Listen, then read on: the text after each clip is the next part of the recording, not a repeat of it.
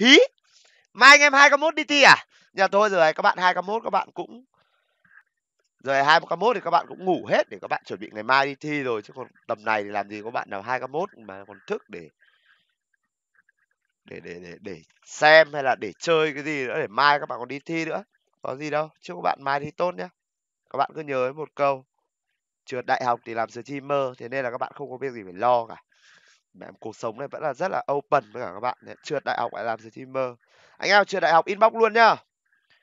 Có ngay công việc, hướng dẫn đào tạo từ A đến Z. Chứng chỉ nhận ra sau khi học. Hướng nghiệp cho anh em sau khi học. Đi nào các bạn. Chuyên nghiệp phải lột thề với cả các bạn. Thi văn à? Thi văn dễ lắm các bạn ơi. Thi văn có thể không học cũng được luôn. Chỉ cần các bạn biết. Bốc phét là các bạn, địt mẹ mình chỉ cần ò ai ý em tí là được bí quyết để thi đại học tốt vãi lồn đó chính là, thật ra đéo phải là thi đại học mà là thi đéo thì cũng thế. Các bạn thì mà đến khi ở các bạn trước khi đi thi các bạn cũng luôn được thầy cô dặn rồi. Là dù có đéo biết gì cũng đéo bao giờ được phép để bài trắng rồi. Những cái điều này thì nó hơi bị vô lý với cả một tí, với cả những cái môn như kiểu là toán, xong rồi là lý, xong rồi là hóa các thứ. Nhưng mà mấy cái môn như kiểu là xã hội, như kiểu là văn sử địa thì có thể áp dụng pro vãi lồn dù có đéo biết cái gì ở trong đầu hay là như nào đấy thì các bạn cứ bị chèm con mẹ vào đi. Nhiều ngày mai các bạn gặp con mẹ mày lệch tủ ấy, thì các bạn cứ viết con mẹ vào bài thi vào. Hà Nội, ngày 25 tháng 6 ABC CZ buổi tối ngày em ngồi xem. Mimosa live stream các thứ. Mimosa là XYZ các kiểu. Địt mẹ ít nhất 5 điểm bài đấy. Hứa cả các bạn. Nếu giờ các bạn bị ăn điểm liệt cả, thế nên là các bạn cứ thoải mái lên. Có lệch tủ thì cũng bị mẹ vào. Vô địch thiên hạ với luôn. Thi văn trắc nghiệm. đau đầu vậy lột tham ấy, xin các bạn luôn đấy. Giáo chủ ơi khi học cưới vợ này đánh bạn đấy nhá. Đừng có hỏi tôi cưới vợ nhá. Thế các bạn nhá. Theo anh con gái như nào là xinh? Mình cũng đéo biết đâu các bạn ạ. Nói chung thì gái xinh nhìn nó rất là dễ nhưng mà mình nghĩ trên đời nó không có khái niệm gái xinh đâu. Nó chỉ có là hợp gu thôi.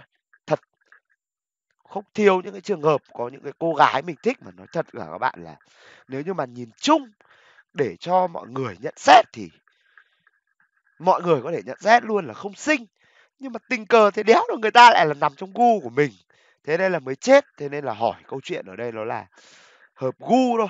Chứ còn tất nhiên là tôi cũng có một số những cái quan điểm riêng về một cô gái. Ví dụ như kiểu là skeleton warrior. Đối với tôi là một trường hợp không thể chấp nhận được.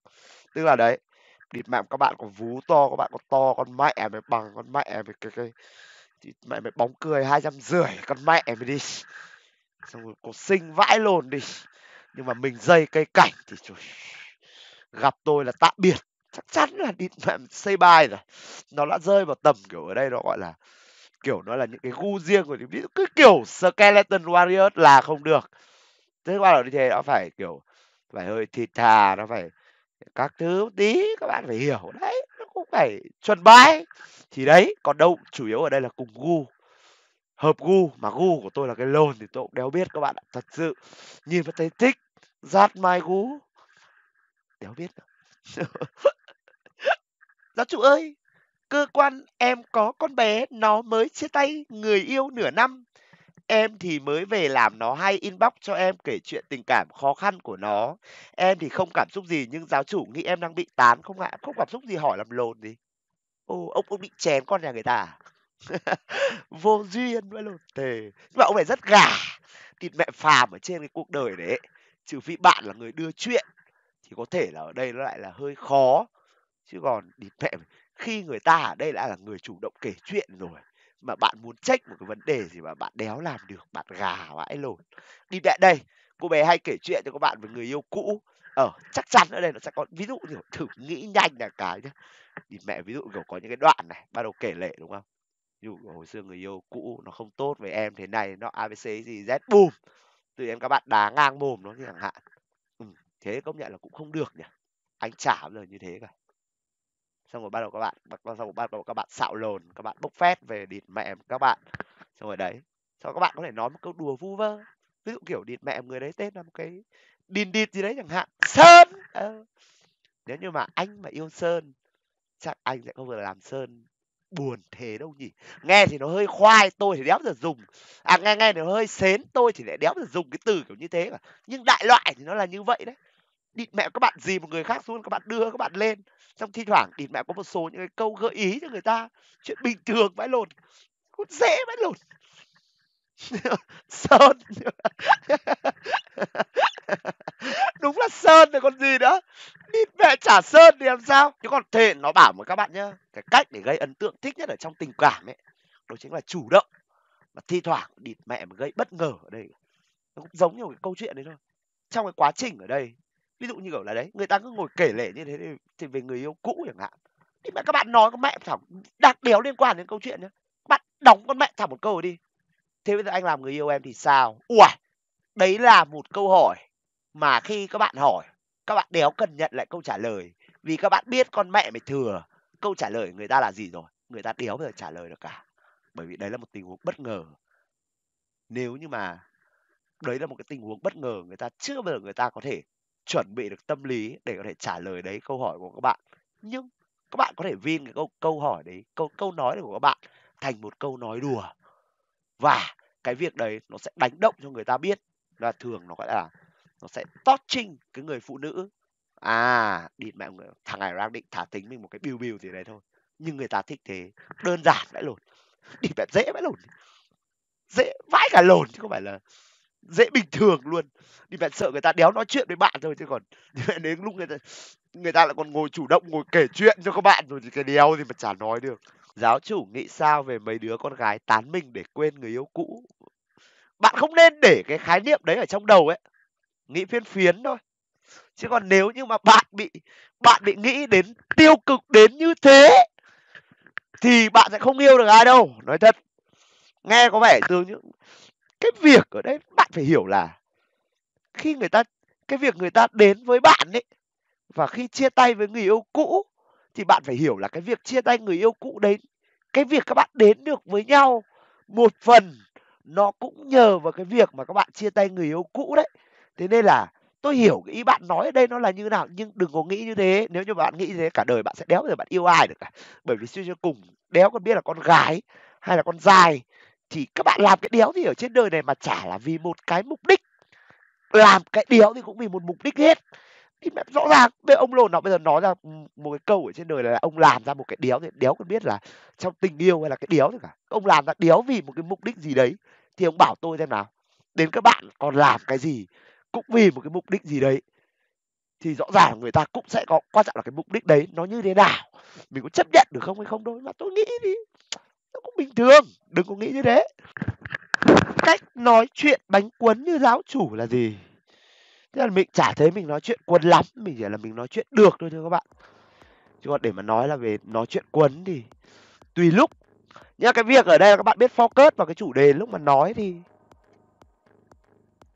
nó sẽ khiến cho cái việc nói chuyện của các bạn quấn các bạn hiểu là người ta muốn nghe gì, cái việc các bạn nói ra cái mục đích gì, nói chuyện của bạn bè khác nhé mà nói chuyện theo kiểu cưa gái nó khác nhé nếu mà các bạn nói chuyện theo kiểu bạn bè mà các bạn muốn cho cái cuộc nói chuyện nó vui, thì cái chủ đề của cái cuộc nói chuyện ở đây nó nên là funny, nó nên là nói xấu,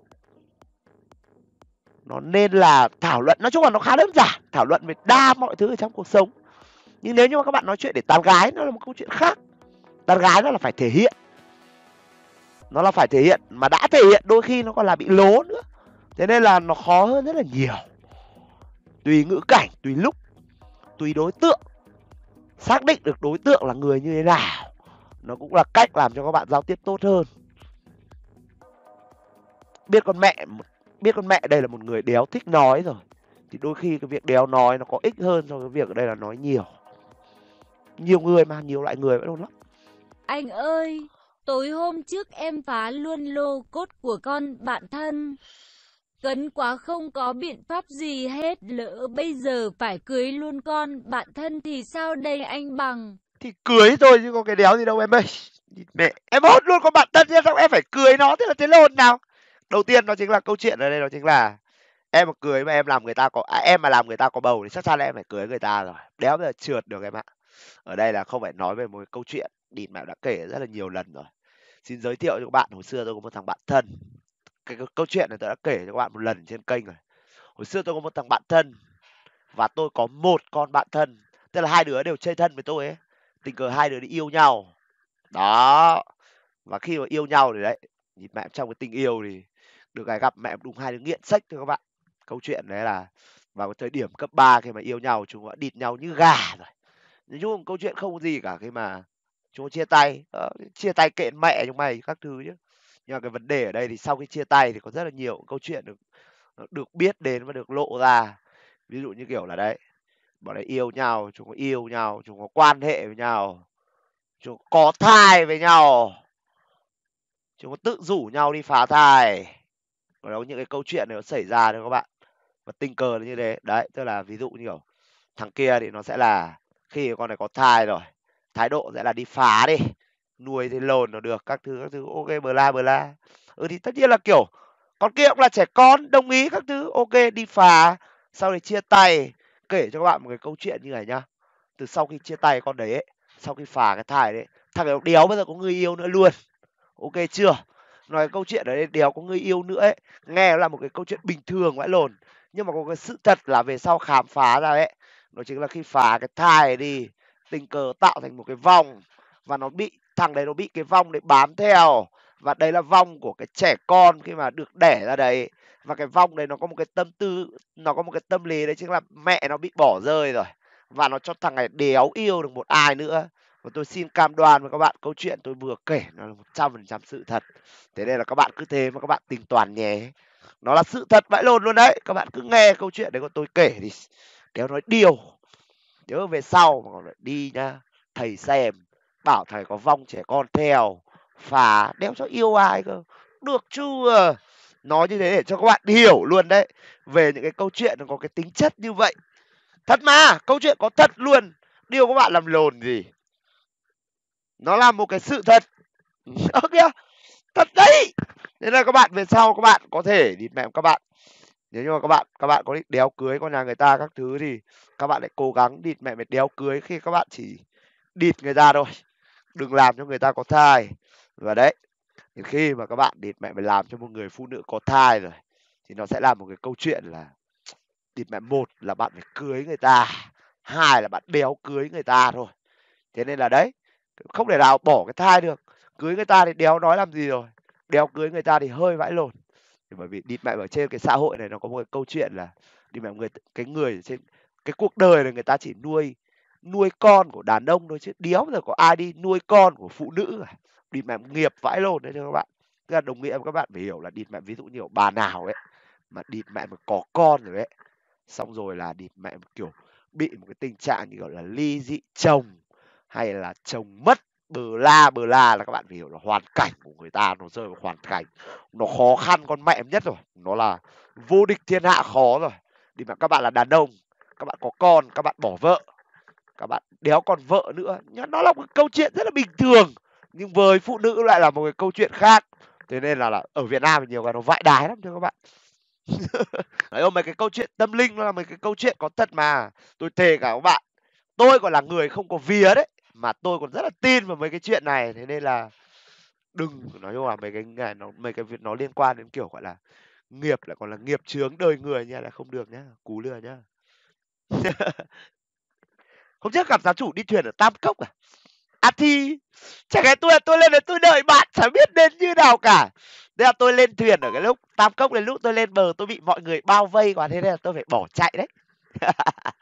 Bao giờ ra phun giáo cát chuẩn bị rồi nhá các bạn nhá đang cố gắng làm sao để set up. chó hai niên một án? Cảm ơn mai anh nhá.